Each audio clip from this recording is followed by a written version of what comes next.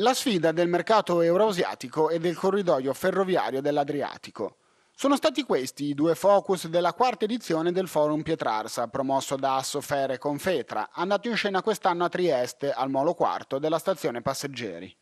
L'occasione, come accade ormai da quattro anni a questa parte, è stata colta anche per fare il punto sul sistema ferroviario complessivo del nostro paese, al suo interno e anche nei suoi collegamenti con l'estero, nello specifico appunto verso l'Asia. Gli organizzatori chiedono di spingere sempre di più sul ferro per il trasporto merci, considerato il mezzo più sicuro, veloce e quello con il minore impatto ambientale. Noi vogliamo vincere innanzitutto la sfida a favore del trasporto ferroviario in Italia, quindi un riequilibrio multimodale a favore del ferro. E questo implica non soltanto una correzione del sistema degli incentivi ma soprattutto pensare in ferro essere capaci cioè di riportare il ferro là dove stanno i siti industriali ad esempio, rafforzare anche i terminal minori, favorire il più possibile il trasporto diffuso, il traffico diffuso. Eh, abbiamo scelto di venire a Trieste proprio perché come lei ricordava siamo eh, diciamo alla testa dell'area adriatica che è quella che più soffre di carenza infrastrutturale ed è un paradosso perché come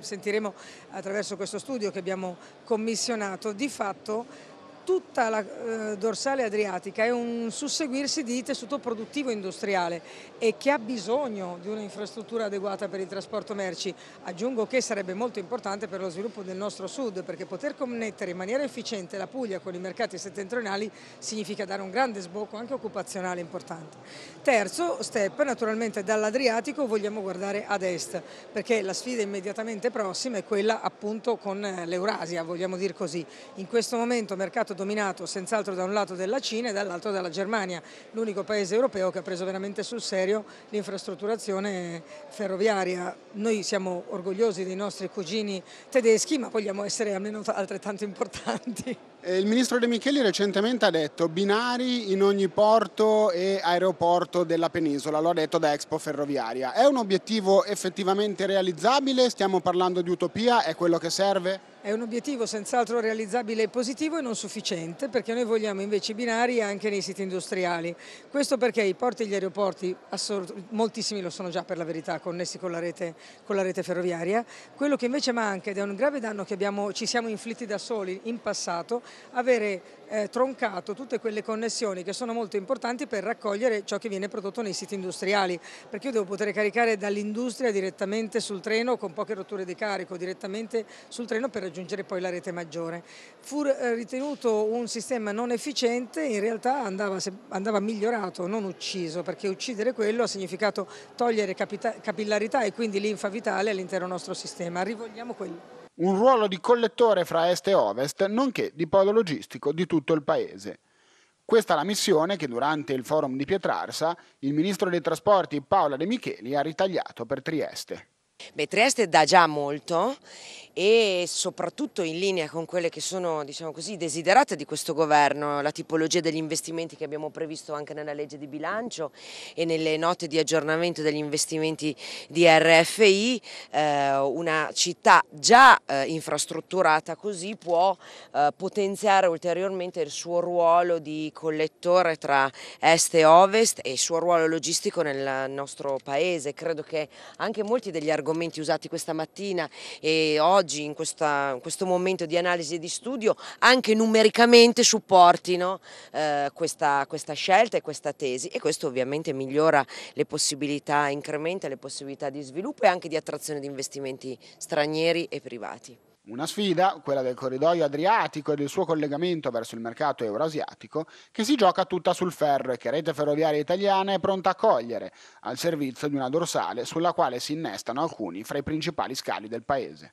Beh, è una, una, sfida che si può vincere, cioè, per vincerla dobbiamo finire tutte le nostre attività che sono il potenziamento del corridoio per avere tutti i moduli, eh, tutte le sagome secondo gli standard europei. Eh, però è una, è una, sfida che si vince facilmente perché su questo corridoio ci sono tre porti importantissimi, Trieste, Venezia e, e Ravenna, che da soli sono al primo posto, al terzo, al quarto posto per movimento complessivo di merci in termini di tonnellate, quindi è, è veramente un'area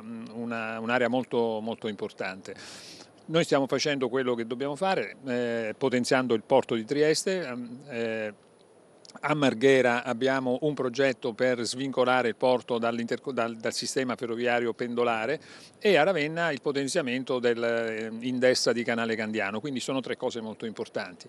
I tempi di realizzazione sono assolutamente congruenti con l'attivazione del corridoio, ci saranno alcune cose che saranno disponibili nel 2021, altre nel 2023, altre nel 2025, poi le cose infrastrutturali più pesanti bisognerà aspettare il 26-27. Trieste gode già, in questo senso, di una spinta decisa verso il ferro. Il suo porto è quello che in Italia movimenta più merce proprio via ferrovia e il presidente dell'autorità di sistema Zeno D'Agostino vuole spingere ancora di più in questo senso per rendere il porto giuliano sempre più modello nella penisola e metterlo in condizione, come già sta accadendo, di rubare il traffico agli scali del nord. Sì, perché parliamo sempre diciamo, dei numeri dei treni, quello che va effettivamente sottolineato è che il porto di Trieste non ha problemi dal punto di vista della capacità ferroviaria, nel senso che noi possiamo pensare di arrivare almeno fino a 14.000 treni in questo momento, quest'anno arriveremo a circa 10.600, 10.700, quindi ce n'è, ancora, ma soprattutto in termini di capacità parliamo sia di lunghezza treni che di gabarit, cioè di quello che è la sagoma dei treni. Noi oggi siamo in grado di mettere sui treni i semirimorchi, non è una cosa che possono fare tutti in Italia, eh, Trieste lo può fare lo facciamo tantissimo, il 50% dei nostri servizi intermodali è collegato ai semirimorchi turchi perché noi possiamo, abbiamo tutta una serie di tunnel che da qui arrivano fino al nord Europa che non hanno problemi da questo punto di vista. Quindi la capacità c'è, il problema è che chiaramente abbiamo grandi investimenti che stanno arrivando sul porto e che stanno determinando un'espansione a est del porto che creerà già con la, il 2020 la nuova piattaforma logistica con lo scalo Legnami piuttosto che gli investimenti degli ungheresi per quanto riguarda l'area Teseco e tutta una serie di altre iniziative che sono in corso, abbiamo bisogno di allargare e ampliare tutta la capacità ferroviaria anche sulla parte orientale. Su questo già tra un paio di mesi sarà operativo il tunnel ferroviario che esisteva ma non era operativo, che permette ai treni di arrivare anche su quella parte. Da quel punto di vista si sta già programmando con RFI eh, la messa in funzione della vecchia stazione di Aquilina, che però è vecchia ma binari da 750 metri e quindi anche questa verrà rimessa in funzione e RFI ha già finanziato il progetto e sarà un progetto che verrà fatto in maniera molto veloce. Abbiamo anche la presenza dei cinesi che comunque vogliono sviluppare un terminal intermodale su alcuni binari di quella stazione, eh, non lo gestiranno loro, questo è importante da dire, però l'investimento sarà sicuramente qualcosa che stiamo trattando con loro, quindi alla luce anche degli accordi fatti a marzo questa è una cosa che va avanti e abbiamo poi dopo un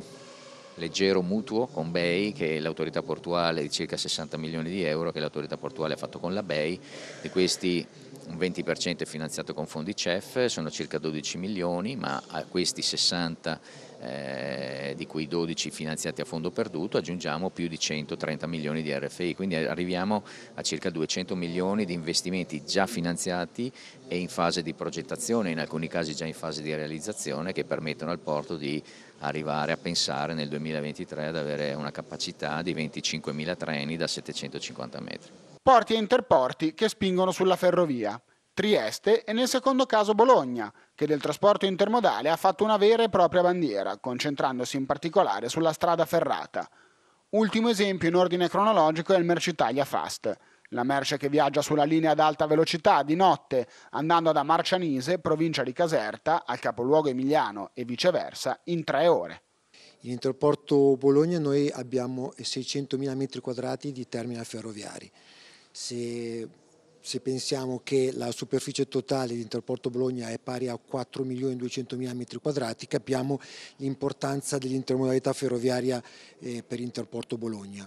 Abbiamo diversi treni, di, di trasporto combinato non accompagnato, di eh, convenzionale e di alta velocità, che è Merci Italia Fast, che è l'ultimo eh, gioiello che stiamo eh, lanciando con, con, buoni risultati. Noi crediamo alla ferrovia, crediamo al, al fatto che, e del nostro punto di forza, in Interporto Bologna si possa fare più modalità di trasporto merci quindi trasporto da punto a punto combinato non accompagnato, il convenzionale diffuso, classico e l'alta velocità che è più concorrenziale rispetto al tutto strada. E la presenza qui quest'oggi è per fare il punto della situazione soprattutto sulle, ehm, sullo sviluppo infrastrutturale della rete per cogliere eventuali eh, sfide eh, come peraltro noi siamo abituati a fare e il Mercitalia Fast ne è un esempio eclatante. A tirare le somme il presidente di Confindustria Vincenzo Boccia. L'unica politica anticiclica possibile in questo momento è quella di aprire i cantieri per sviluppare le infrastrutture che servono all'Italia. Quello che stiamo chiedendo a livello paese è spostare l'attenzione sul nodo infrastrutturale. Lo stiamo dicendo da tempo, ci sono risorse già stanziate che secondo la nostra Associazione Nazionale Costruttori ammontano a circa 70 miliardi di euro per opere infrastrutturali di valore superiore a 100 milioni, occorre cantiere per cantiere fare una verifica, individuare una procedura che vada oltre lo sblocca cantieri e attivare immediatamente queste opere pubbliche. La grande svolta del Paese, una grande politica anticiclica anticiclica, sono mesi che stiamo parlando d'altro senza affrontare i grandi fondamentali dell'economia del Paese a partire dal nodo infrastrutturale che è l'unica grande politica anticiclica che possiamo fare nell'immediato.